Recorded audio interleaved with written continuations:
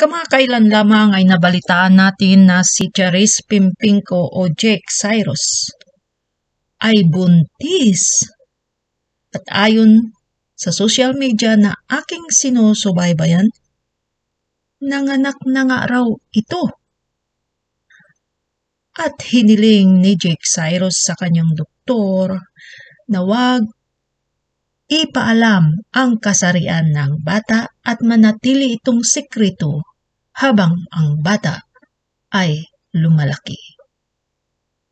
Ninais na lamang ni Jake Cyrus na ang bata mismo ang pipili ng kanyang kasarian habang siya ay lumalaki sa mundong ito.